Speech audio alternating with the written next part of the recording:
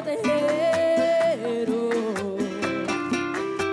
Em frente à sua janela eu cantava o dia inteiro.